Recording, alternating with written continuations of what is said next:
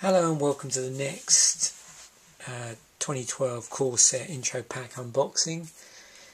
As I said in the previous video for the Mystical Might one, um, I'm now going to open up the Blood and Fire and again I'm going to put the um, booster pack to one side because I want to build this 30 card uh, deck, do a sealed with, with along with um, other boosters that I bought. So we're going to open this up, see what's in here.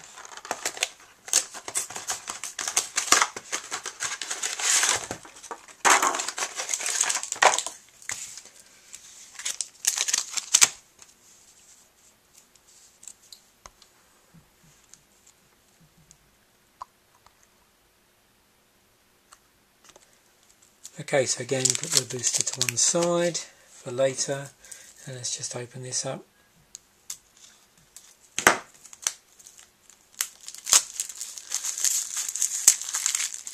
The same as before, the two inserts, one how to play and one with on instructions on how the decks play and how you can improve them. So in this deck our foil is Flame Blast Dragon. This is a, a red-black deck in case you hadn't seen that. Warstorm Surge, Tectonic Rift, two of those. Hideous Visage, Incinerate is in the deck. Swiftfoot Boots, Taste of Blood. Shock, two shocks three shocks. Swamp. And here we go through all the swamps.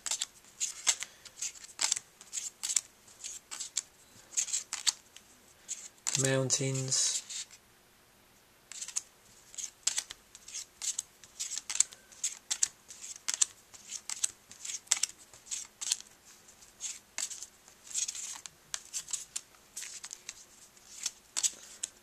and back to non-land cards.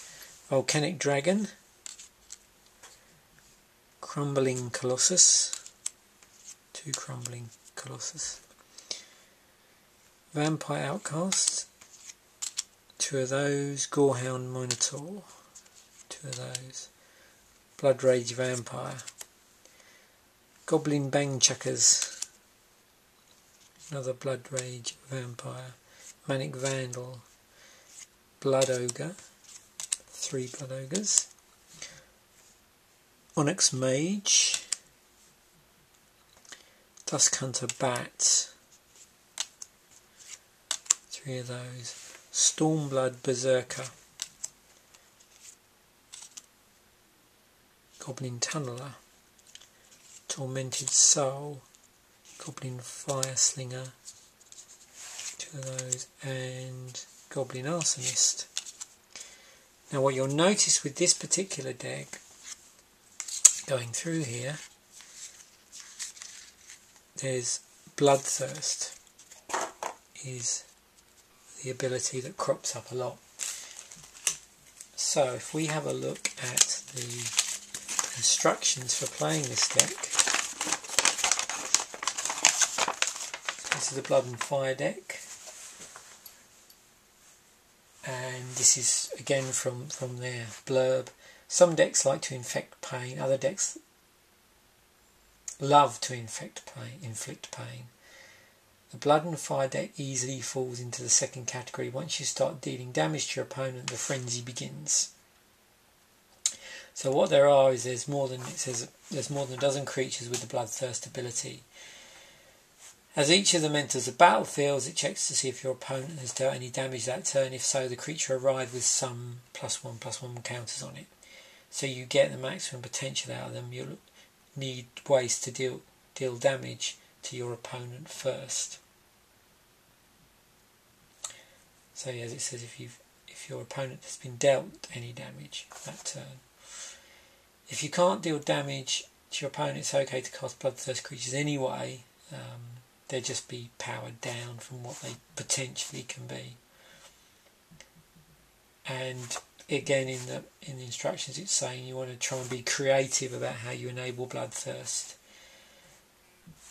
Um, spells like shock and incinerate can clear out potential blockers or they can deal damage direct to your opponent. So that's another way of activating the bloodthirst ability. And then it talks about finishing off the, the game um, and also the fact that uh, the 7 power Crumbling Colossus has trample. So you're going to get some damage through if it attacks and your opponent uh, has blocked any you know damage would be rolled over um, providing they've not obviously blocked it all. And it's saying you can finish off the game in a number of ways. Spells like Hideous Visage and Tectonic, Tectonic Rift can leave your opponent able to block. Warstorm Surge fires off a salve each time you get a new creature and if all fail, all else fails, just attack with dragons. Ways to modify it, um, you could add more cards that enable Bloodthirst, like Grim, Grim Lavamancer or Chandra the Firebrand. You could also add game-ending creatures with Bloodthirst, uh, Furyborn Hellkite, which has Bloodthirst 6, or Bloodlord of Vasgoth, which has Bloodthirst, Bloodthirst 3, and gives bloodthirst to all your vampires. So there's quite a few options there. And that is the Bloodthirst deck, Blood and Fire, the Black Red 2012 Core Set Intro Pack deck. Thanks for watching.